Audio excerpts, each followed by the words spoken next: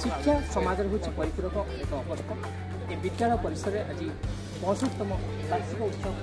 ହାଟେର ସରକାରୀ ଉଚ୍ଚ ବିଦ୍ୟାଳୟ ପାଳନ କରାଯାଇଛି ଯେଉଁଠିକି ବହୁ ମାନ୍ୟଗଣ୍ୟ ଅତିଥି ଆସିଛନ୍ତି। ବିଦ୍ୟାଳୟ ପରିସରରେ ଆଜି ଏଭଳି ଏକ ପରିବେଶକୁ ଦେଖି ସମସ୍ତେ ନିହାତି ଆଚମ୍ବିତ ହୋଇପଡ଼ିଛନ୍ତି। ଏ ଯେଉଁ କାର୍ଯ୍ୟକ୍ରମ ଯେ ମୋ ସ୍କୁଲ ମାନ୍ୟବର ମୁଖ୍ୟମନ୍ତ୍ରୀଙ୍କ ଯେଉଁ ମୋ ସ୍କୁଲ ଅଭିଯାନ ଆରମ୍ଭ କରିଥିଲେ ସେଥିରେ ଗୋଟିଏ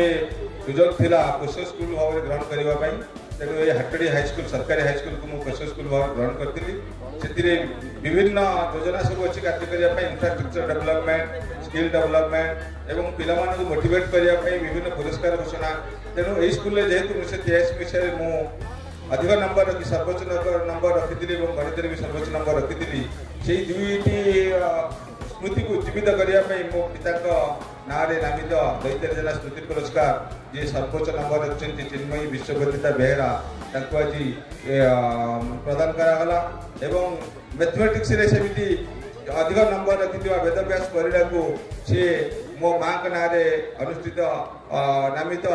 ରଙ୍ଗବତୀ ଜେନା ସ୍ମୃତି ପୁରସ୍କାର ଆଜି ତାଙ୍କୁ ପ୍ରଦାନ କରାଗଲା ଏଥିରେ ପିଲାମାନଙ୍କୁ ଆଜି ମଧ୍ୟ ସ୍ପୋର୍ଟସ ଏବଂ ବିଭିନ୍ନ ଏକ୍ସଟ୍ରା କରିକୁଲାର ଆକ୍ଟିଭିଟିରେ ଯେଉଁମାନେ ବିଭିନ୍ନ ପାରଦର୍ଶିତା ଦେଖେଇଛନ୍ତି ବିଭିନ୍ନ ପୋଜିସନ ରଖିଛନ୍ତି ତାଙ୍କୁ ମଧ୍ୟ ଆଜି ସାର୍ଟିଫିକେଟ୍ ଏବଂ ଟ୍ରଫି ଦିଆଗଲା ଆଜି ସ୍କୁଲରେ ଆନୁଆଲ ଫଙ୍କସନରେ ଏମାନଙ୍କୁ ଉଦ୍ଦେଶ୍ୟ ହେଉଛି ଏମାନଙ୍କୁ ଉତ୍ସାହିତ କରାଯିବ ତାଙ୍କୁ ପ୍ରେରଣା ଯୋଗାଇବ ଅନ୍ୟମାନେ ମଧ୍ୟ ସେଭଳି ଆଗକୁ ଯିବେ ଏଇଟା ଆମେ ଲକ୍ଷ୍ୟ ରଖିଛୁ ଏବଂ ଏଥିରେ ଫାଇଭଟି କାର୍ଯ୍ୟକ୍ରମ ଅଧୀନରେ ଆମେ ଇନଫ୍ରାଷ୍ଟ୍ରକ୍ଚର ଡେଭଲପମେଣ୍ଟ ଗୁଡ଼ାକ ହେଇଯାଇଛି ଆଉ କିଛି କାମ ରହିଛି ତାକୁ କମ୍ପ୍ଲିଟ୍ କରିକି ସ୍କୁଲକୁ ଏକ ନମ୍ବର ୱାନ୍ ସ୍କୁଲରେ ପରିଣତ କରିବା ପାଇଁ ସମସ୍ତେ ସ୍ଥାନୀୟ ପ୍ରଶାସକ ପ୍ରଶାସନ ଏବଂ ସ୍କୁଲର ମ୍ୟାନେଜମେଣ୍ଟ ସ୍କୁଲର ଶିକ୍ଷକ ଶିକ୍ଷୟିତ୍ରୀ ସମସ୍ତେ ଏକନିଷ୍ଠ ଭାବରେ ଉଦ୍ୟମ କରୁଛନ୍ତି। ତେଣୁ ଏକୁ ଆଗାମୀ ଦିନରେ ଏ ସ୍କୁଲ ପୁଣି ତା ପୂର୍ବକୁ ଫେରି ପାଇବ ଏବଂ ଏକ ଏକ ନମ୍ବର ସ୍କୁଲ ଭାବରେ ହବ ବୋଲି ସମସ୍ତେ ଆମେ ଆଶା ରଖିଛୁ।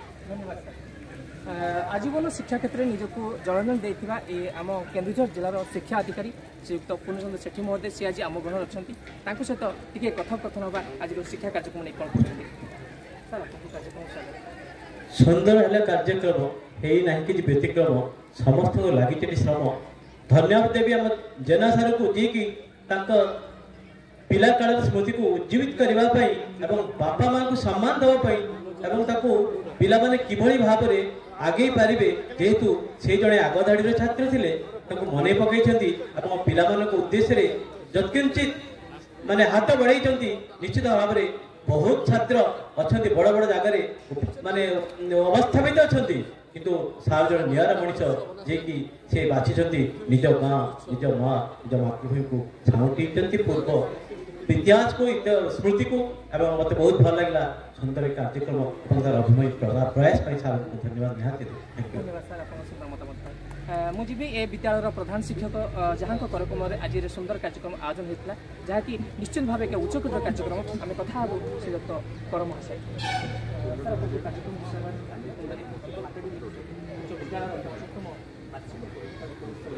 এই କାର୍ଯ୍ୟକ୍ରମଟା ଗୋଟିଏ ଚିରସ୍ମରଣୀୟ ହିଁ ରହିବ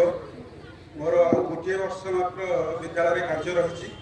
ଗୋଟିଏ ବର୍ଷର ଦୁଇ ମାସ ଭିତରେ ଆମର ମୁଁ ବିଦା ନେବି ଆଉ ବିଦା ନେଲା ବେଳେ କ'ଣ ହେବ ତାହା ମୁଁ ବର୍ତ୍ତମାନ କିଛି କହିପାରୁନି କାରଣ ଦୀର୍ଘ ଅଠତିରିଶ ବର୍ଷର ଏ ଯେଉଁ ସ୍ମୃତି ତାକୁ ମୁଁ କେବେ ଭୁଲି ପାରିବି ନାହିଁ। ଏ ମୋର ଏଇଠାରେ ମୋର କିଶୋର ବୟସ ଯାଇଛି ଯୌବନ ବୟସ ଯାଇଛି ଏବଂ ପ୍ରୌଢ ଅବସ୍ଥାରେ ମଧ୍ୟ ଏ ବିଦ୍ୟାଳୟ ମୁଁ କାମ କରୁଛି। ତେଣୁ ଏ ବିଦ୍ୟାଳୟ ମାଟିକୁ ମୁଁ ସବୁବେଳେ ନମସ୍ତ କରିବି ଏବଂ ଏଇ ଯେଉଁ ଗୋଟିଏ ବର୍ଷ ମଧ୍ୟରେ ମୁଁ ଏହାର ଯାହା ସବୁ ରହିଛି ଅସୁବିଧା ବା ସମସ୍ତ ସମସ୍ୟାକୁ ମୁଁ ନିଶ୍ଚିତ ଭାବରେ ଦୂର କରିବି ଏବଂ ଏଇଟା ହିଁ ମୋର ଆଶା ଏବଂ ଆଜି ବିଶେଷ କରି ଆମେ ସୁଖ ପ୍ରକାଶ କରୁଛି ଯେ ମୋ ଗହଣରେ ଆଜି ଅଛନ୍ତି ଏହି ବିଦ୍ୟାଳୟକୁ ଚିରସ୍ମରଣ କରିବା ପାଇଁ ଏ ବିଦ୍ୟାଳୟ ସମସ୍ତ ଉନ୍ନତି କାମରେ ନିଜକୁ ନିୟୋଜିତ କରିବା ପାଇଁ ସମସ୍ତେ ହାତ ମିଳେଇଛନ୍ତି ଏବଂ ସମସ୍ତଙ୍କୁ ଧନ୍ୟବାଦ ଦେବି ଆମର ଏସ୍ଏମ୍ଡିସି ମେମ୍ବର୍ସ ଆମର ମୋ ସ୍କୁଲ ଅଭିଯାନର ସମସ୍ତ ସଦସ୍ୟ ସଦସ୍ୟା ଛାତ୍ରଛାତ୍ରୀ ବିଶେଷ କରି ମୋର ଶିକ୍ଷକ ଶିକ୍ଷୟିତ୍ରୀ ଯେଉଁମାନେ କି ଏ କାର୍ଯ୍ୟକ୍ରମକୁ ଆଜି ସଫଳ ରୂପ ଦେଇଛନ୍ତି ତେଣୁ ସମସ୍ତଙ୍କୁ ଧନ୍ୟବାଦ ଦେବି ଏବଂ ଶେଷରେ ମୁଁ ଆମର ରିପୋର୍ଟର ମାନଙ୍କର ଆଜି ଯେଉଁ ଯେଉଁ ଧୈର୍ଯ୍ୟର ସହିତ କାର୍ଯ୍ୟ କରିଛନ୍ତି ତାଙ୍କୁ ମଧ୍ୟ ମୁଁ ନିଶ୍ଚିତ ଧନ୍ୟବାଦ ଦେବି।